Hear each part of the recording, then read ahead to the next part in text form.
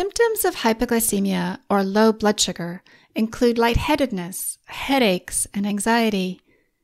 Hypoglycemia can even feel like panic attacks. I used to feel like I was dying, said my patient Shelby, until I figured out that what I thought was a panic attack was really just low blood sugar. Women seem more prone to hypoglycemia, particularly young women, and in this episode, I'm going to explore why.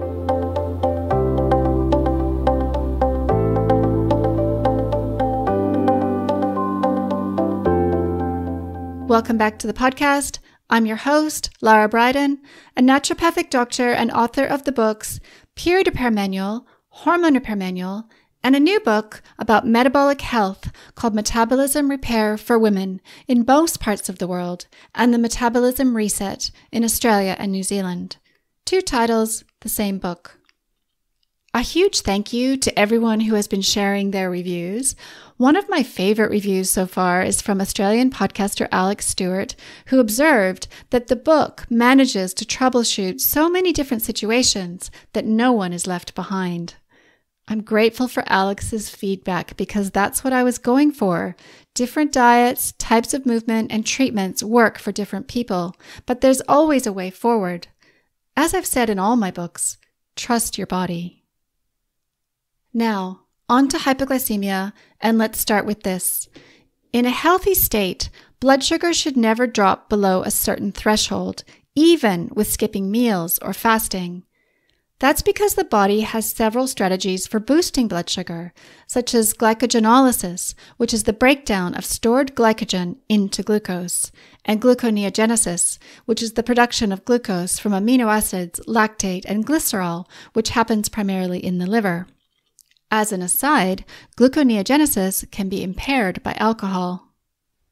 The other process that boosts blood sugar is lipolysis, which is the breakdown of stored fat into glycerol and free fatty acids. The glycerol can be made into glucose via gluconeogenesis, and the fatty acids can be burned directly as energy. As another aside, in a healthy, resting state, the body should be burning mostly fat, not glucose. That's metabolic flexibility, as I describe in my book. But even when fat burning, glucose is maintained in the normal range. As yet another aside, there's also ketogenesis, which is the production of a significant amount of ketone bodies from the fatty acids and the burning of them as a partial alternative to glucose, with the understanding that even in nutritional ketosis, lipolysis and gluconeogenesis are also ongoing, and so blood glucose remains in the normal range. We'll save a discussion of ketogenesis for another day because it really only applies to people doing a ketogenic diet. More commonly, for most people, the dominant processes are glycogenolysis, gluconeogenesis, and lipolysis. Those processes are boosted by the hormones glucagon, made by the pancreas, cortisol, made by the adrenal glands, and adrenaline, made by the adrenal glands and the nervous system. Working in the opposite direction to all of that is, of course, insulin, which lowers glucose. That's why type 1 diabetics who take insulin are at such risk of hypoglycemia. It's also why people with insulin resistance and therefore chronically elevated insulin are at risk of reactive hypoglycemia, which is hypoglycemia within a few hours after a meal. Which makes sense because after a meal is when insulin is highest, and all of that insulin pushes down on glucose. Chronically high insulin is also why women with PCOS tend to have a higher risk of reactive hypoglycemia. For more about insulin resistance, see my new book, Metabolism Repair for Women. More broadly, though, hypoglycemia can also occur in people without insulin resistance. In that case, it's largely due to what researchers call a blunted or delayed glucagon response.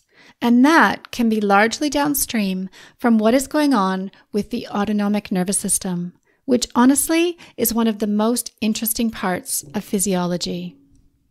The autonomic nervous system should probably be called the unconscious nervous system, and it affects so much, including mood and sleep, heart rate, blood pressure, breathing, immune function, digestion, hormone balance, including thyroid and female hormones, and hunger, satiety, which means being not hungry, and energy expenditure, which makes the autonomic nervous system, or as I call it in my book, the metabolic nervous system, a major player in metabolic health, energy balance, and weight loss.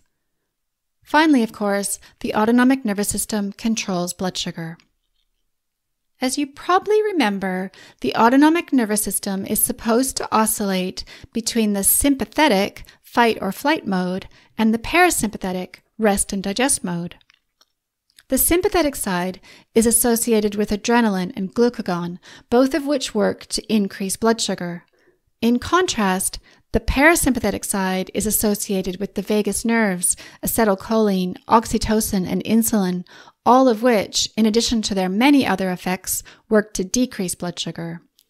To be clear, we need both sympathetic and parasympathetic to be healthy, and a flexible oscillation between them can support healthy blood sugar.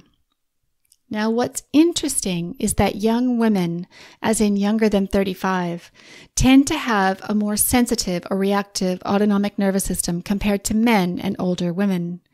And they tend to be more parasympathetic dominant, which is not always a good thing because it can be associated with higher insulin and lower glucagon. Plus, when women do experience sympathetic activation, such as with stress or a drop in blood sugar, it tends to result in a steeper sympathetic activation, which means a bigger rush of adrenaline. So, not only are young women more likely to experience hypoglycemia, but are also more likely to experience distressing symptoms from it. On top of all of that, there's the menstrual cycle, which also affects blood sugar regulation via several mechanisms, including by directly influencing the autonomic nervous system. In particular, the drop in estrogen at the end of the menstrual cycle tends to destabilize blood sugar and increase adrenaline. With mild dysfunction of the autonomic nervous system, sometimes referred to as an instability of the autonomic nervous system or dysautonomia, there can be symptoms such as blunted glucagon response and an increased tendency to low blood sugar, our topic today. Also, headaches and irritable bowel syndrome or IBS, delayed stomach emptying, cold hands and feet, fatigue, exercise intolerance, fainting, heart palpitations, POTS, which is the condition where standing up causes a rise in heart rate, and low blood pressure. Both low blood pressure and low blood sugar can cause symptoms such as dizziness and lightheadedness. And because the autonomic nervous system controls both, some people can get relief from using electrolytes, especially sodium, to increase blood volume and prevent blood pressure from bottoming out. You might recognize that list of symptoms just mentioned as sounding a lot like what some practitioners call adrenal fatigue. Autonomic dysfunction is arguably a better term to describe the symptoms, given that the adrenal glands interact very closely with the autonomic nervous system. Furthermore, the common conditions of hypermobility and high histamine or mast cell activation are closely tied in with autonomic dysfunction, low blood pressure, and low blood sugar. So, how common is all of this? How common is hypoglycemia in young women? Well, one study suggests it affects up to 38% of young women. We'll look at that study in a minute. I was one of that 38%. For anyone watching the video, this is a photo of me at about age 27 or 28. Back then, I was healthy in lots of ways, but had low blood pressure and was prone to blood sugar crashes to the point that I always kept trail mix in my bag or car for an emergency snack.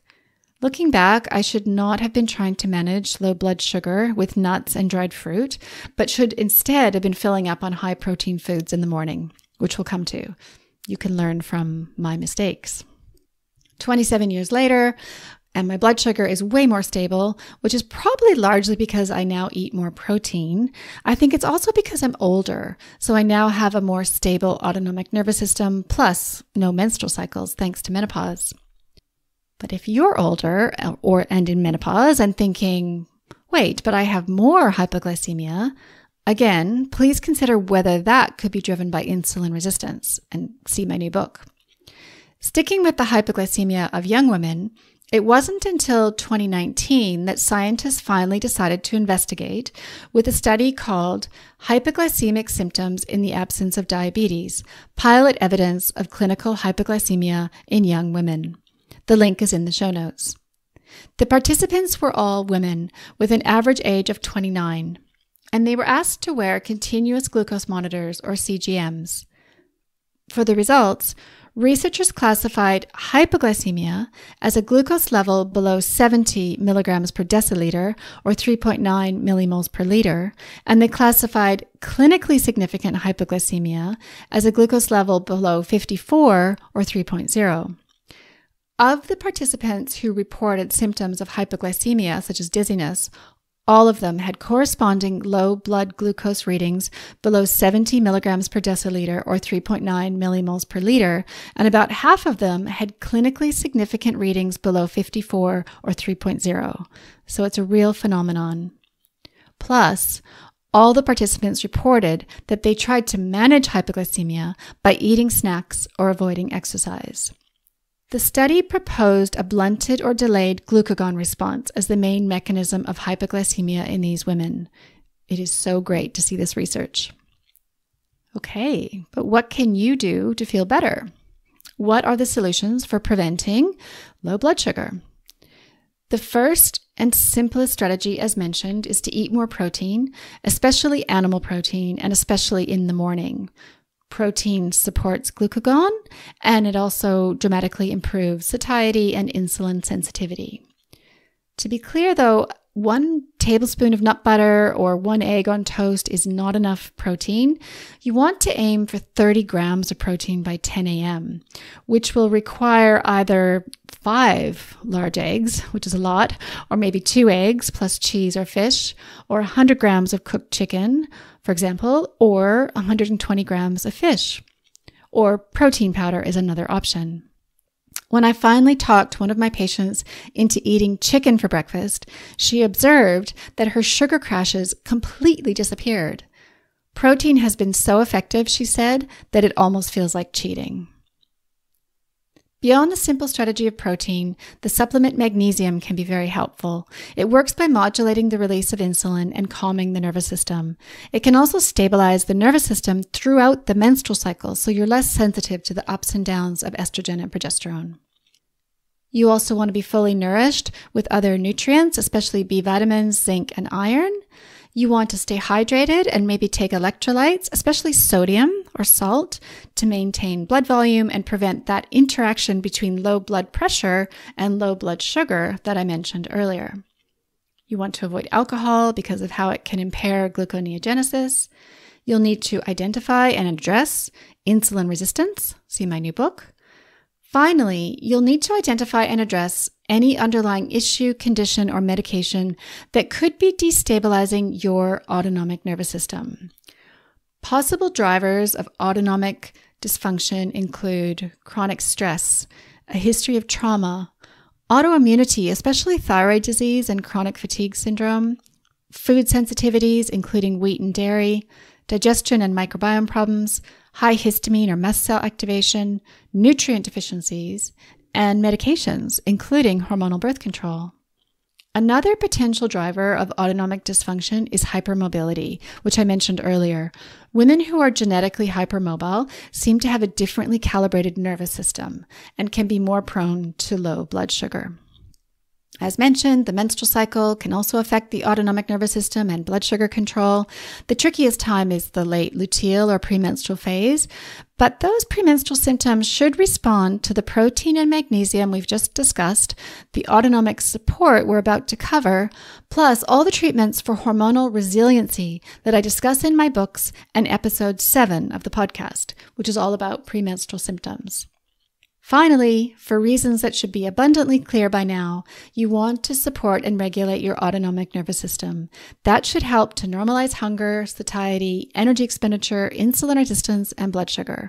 It can also help to address many of the underlying issues just mentioned, including autoimmune disease and mast cell activation. Key nutrients for the autonomic nervous system include magnesium, B vitamins, choline, zinc, and iron. Herbal medicines can also be very helpful, including tonics and adaptogens like ashwagandha. Many of the adaptogens are also traditionally described as adrenal tonics because, as mentioned, adrenal fatigue is a common descriptor for autonomic dysfunction. To support the autonomic nervous system and blood sugar, you'll also want to think about signals of safety the phrase was coined by neuroscientist Stephen Porges and refers to all the cues or signals that tell the autonomic nervous system that you're safe and okay.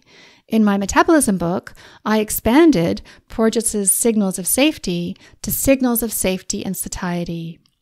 Signals of safety include, but are not limited to, being with loved ones, spending time outdoors, breathing exercises, yoga, meditation, massage, singing, and of course, nourishing food.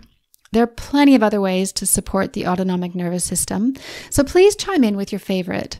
You can leave a comment on the YouTube video, on the blog post associated with this episode at larabriden.com, or in my forum on the topic that I'll create for this episode. I hope that's been helpful and thanks so much for listening. Please share and leave a review. And I'll see you next time when I'll discuss three tips for endometriosis and pelvic pain.